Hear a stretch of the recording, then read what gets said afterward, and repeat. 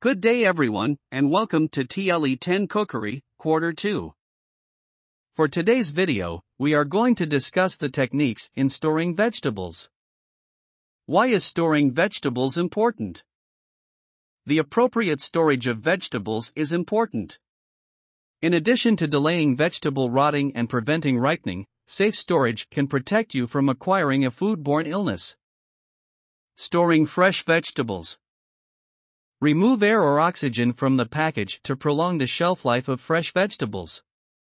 Keep items at a temperature of 40 degrees Fahrenheit. Most fresh vegetables can be kept in the refrigerator for up to 5 days. Fresh leafy vegetables should always be wrapped or covered in moisture proof bags to maintain product wetness and prevent withering. Squashes and eggplants should be kept between 50 degrees Fahrenheit and 60 degrees Fahrenheit in a cool, well ventilated place along with root vegetables such as potatoes, sweet potatoes, and onion. After being harvested, tomatoes continue to ripen, therefore they should be kept at room temperature. Before storing carrots, radishes, and beets in the refrigerator, remove the tops to prevent moisture loss and increase shelf life. Due to the conversion of starch to sugar during cold storage, corn loses some of its flavor. The best place to keep corn peas is in a vented container. It is advisable to rinse lettuce with cold, running water. Refrigerated, bagged in plastic, and drained. Fresh veggies' quality and nutritional worth will be maintained with proper storage. Storing processed vegetables. Vegetables in cans can be kept for up to a year in a cool, dry place below 85 degrees Fahrenheit. Vegetables in cans can still be consumed after a year. Overall quality and nutritional value, however, might have declined. Cans that are severely damaged, bloated, dented, or rusted should be thrown away. Dehydrated vegetables should be kept in a cool, dry area and eaten within 6 months as they tend to lose flavor and color when stored in the freezer for 8 months at 0 degrees Fahrenheit. Vegetables that are prepared at home should be blanched before freezing. Trim any leafy ends, remove ties, and rubber bands before storing. Keep the vegetables from drying out by leaving an inch. Vegetables should be packed loosely in the refrigerator, check that the bag they are stored in has been pierced with some holes to allow proper air movement. Faster rooting occurs when they get closer together. While delicate herbs and mushrooms should not be washed until they are about to be used, leafy greens can be washed before storage by soaking them in a sink full of water. Rules when storing vegetables Use only fresh produce. Begin the preservation process immediately after harvest. Avoid damage, cut, bruised and pest disease infested produce. Use all preserved produce within one year of storage. 5 Methods of Preservation Drying Drying is among the earliest methods of product preservation. The fundamental step includes drying out the product to a point where deterioration is unlikely.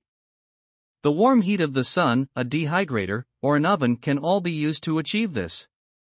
When the product is ready, it should be kept in airtight containers and kept in a dry location. Fresh vegetables are of better quality and more nutritional value than dried vegetables do.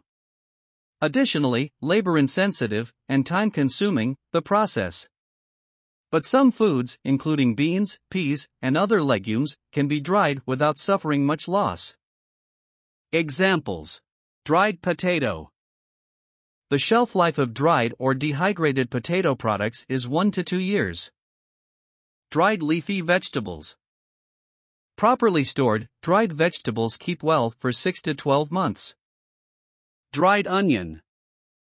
The shelf life of dried onions or dehydrated onions will be stored for 10 to 15 years in a sealed can, oxygen absorbed included, under ideal storage conditions in a cool, dry place.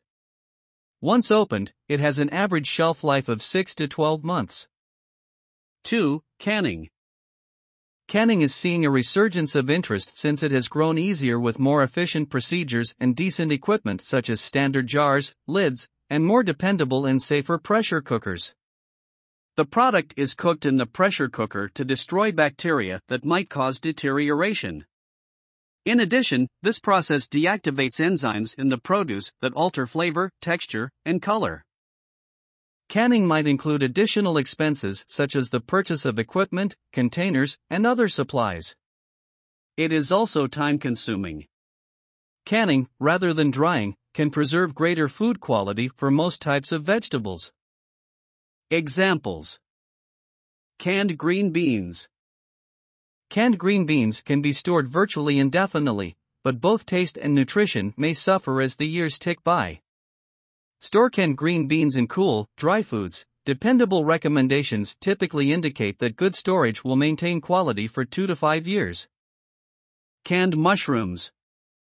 Properly stored, an unopened can of mushrooms will stay at the best quality for about 3 to 5 years, although it will usually remain safe to use after that. Canned corn kernels. Unopened canned corn kernels that have been properly kept should keep the optimum quality for 3 to 5 years, however, they can still be used beyond that time. 3. Curing and salting. When garden food is allowed to organically ferment, it is termed to become cured when microbes begin the fermentation process and change the food quality without producing undesirable flavors or toxins. Natural curing is best demonstrated by fermenting cabbage into sauerkraut. Many acids are created throughout the fermentation process, which limits the fermentation process by limiting microbial activity as the meals grow more acidic. The second method of curing food is to add organic acid, such as vinegar, to increase acidity and decrease bacteria growth. When enough salt is supplied, these two will inhibit microbial action and effectively stop the growth of spoiling organisms. Curing and salting are not common methods of preserving garden vegetables due to the significant difference in quality and overall taste. Examples Curing and salting onion. They will last a couple of months so long as you don't get any other food particles or bacteria in there that can cause contamination. Homemade pickled onions will last about 2 to 4 weeks in the fridge, while store bought ones can last 2 to 3 months after opening. Curing and salting beans.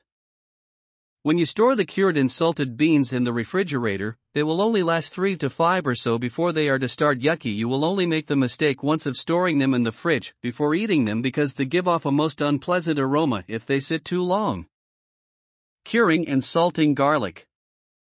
Curing and salting is complete when the outer skins are dry and crispy, the neck is constricted, and the center of the cut stem is hard. Storage After curing, garlic can be kept in good condition for 1 to 2 months at ambient temperatures of 68 to 86 degrees Fahrenheit under low relative humidity.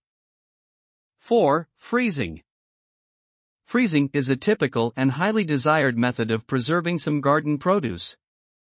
Although this method does not improve quality, it is simple to use provided one has access to a freezer and takes the time to correctly wrap the food so that moisture is kept. Like other preservation techniques, freezing stops the development of germs that lead to spoiling. The fact that food can be preserved for many months without any color change while maintaining good nutritional content is one of the key benefits of freezing. The texture of some soft products can alter significantly, although the significance of this depends on how the food will be used in the future. Green peppers can be frozen, but when thawed at room temperature, they will turn watery. When compared to fresh fruit, the texture will be significantly different. The color will continue to be pleasing. The texture of some soft products can alter significantly, although the significance of this depends on how the food will be used in the future. Green peppers can be frozen, but when thawed at room temperature, they will turn watery. When compared to fresh fruit, the texture will be significantly different. The color will continue to be pleasing. Examples Frozen broccoli. Once frozen, transfer to a plastic container or resealable freezer bag. The broccoli should stay fresh tasting and free of freezer burn for 6 to 8 months. Frozen spinach. Properly stored, frozen spinach will maintain its best quality for about 12 months in the freezer, although it will usually remain safe to eat after that. Frozen cauliflower. Frozen cauliflower retains its best quality for about 8 to 12 months. In most cases, you will cook the frozen cauliflower, so often, there's no real need to thaw it. You can add it frozen, and that's it, but if you need to defrost it, do it in the refrigerator overnight. 5. Common storage. The process used to maintain most of the output produced by our ancestors is known as common storage. This entails keeping the collected goods cold and in darkness. There are several ways to accomplish this, including leaving the produce in the ground, burying it in trenches, storing it in cellars or basements, or putting it in wooden boxes or barrels that are kept in cold areas like a garage or porch. Various ways of common storage. In ground storage. Carrots, beets, turnips, rutabaga, horseradish, salsify, and parsnips may be kept in the ground throughout winter. They should be buried in the soil either to prevent the crop from freezing or to keep the crop frozen after the ground has frozen. Alternating between freezing and thawing will harm the product. Because of this, you should bury the crop by putting a 6 to 8 inch layer of hay, straw, or leaves, which will keep the ground frozen. After a few frosts, parsnips and horseradish may start to taste bitter. In this instance, adding some mulch towards the conclusion of the growing season to stop the ground from freezing so soon would be a technique to prolong the flavor. 2. Pits. Storing vegetables in an outdoor pit is another effective, although inconvenient, method of preserving crops. Burying under the earth creates a controlled environment because soil temperatures do not change and remain cool in comparison to air temperatures. Pits, on the other hand, must be well drained and rodent free. The most typical way to form a pit is to sink a barrel or galvanized can into the soil, leaving 2 or 3 inches of the rim above ground to prevent moisture from entering the container. Spread sand in the bottom of the can, then layer the produce in damp sand, piling up to the top. As the container fills, cover it with a lid and pile enough straw or mulch on top to give insulation. Finish with boards or bricks to prevent loss of the mulch layer due to wind or disturbance. Above ground storage beneath a mound of insulating materials can yield comparable benefits. This is accomplished by building a cone shaped mound and layering veggies on top of it. To keep rats out, the mound should be lined with a flexible form of hardware cloth. Ventilation is also necessary to ensure proper air exchange. Stakes can be used to create a tunnel down into the heart of the mounted layers of veggies to accomplish this. The top of the mound should be open and covered by a board to keep moisture and rodents out. 3. Indoor storage.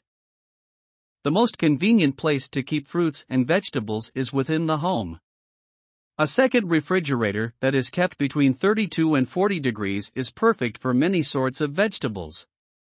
Some products require greater storage temperatures to maintain quality, and each crop should be assessed separately.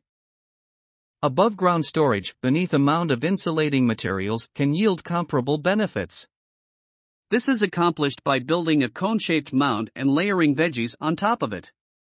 To keep rats out, the mound should be lined with a flexible form of hardware cloth.